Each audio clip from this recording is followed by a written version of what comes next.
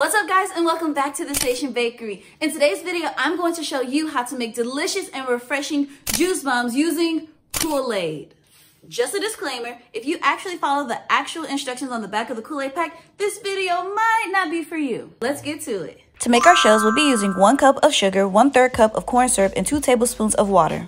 Pour all of the ingredients into a heat-proof pot and then mix together on medium heat until all of the sugar has dissolved. Once dissolved, increase the heat and cook the mixture until the temperature reaches 300 degrees. Remove from the heat and then add in any colorings or flavorings. Always take precautions when working with hot sugar by wearing protective gloves and other protective garments. Any food coloring will work.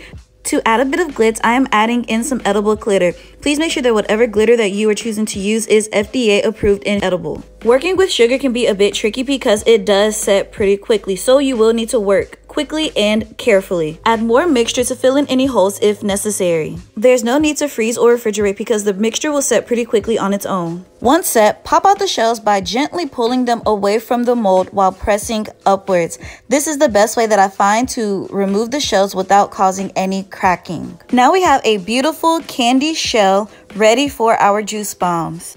Heat up a hot pan and then use it to melt down the first half of the shell. Heat the shell until you have completely perfect and even edges. I will be using cherry flavored Kool-Aid for these juice bombs. The Kool-Aid recipe says to use 2 tablespoons of their Kool-Aid mix for every 1.5 cups of water.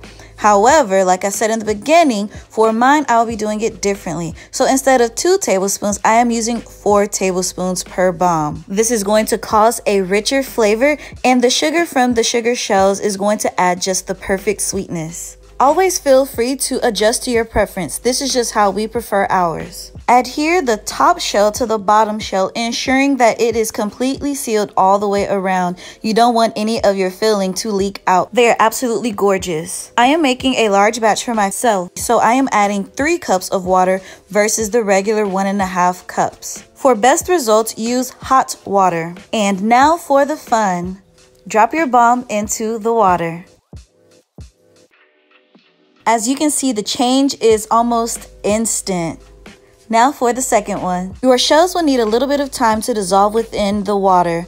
Just use your spoon to stir it around. This will also help prevent it from sticking to the bottom of your glass. We absolutely love finding different ways to spend time with our family and do fun things. And this is just another thing to add to our list of enjoyment. Once the shells have completely dissolved, top it off with a few pieces of ice. Stir and enjoy.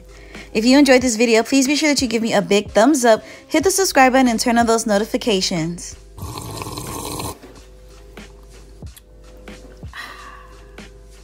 And as always, until next time, peace.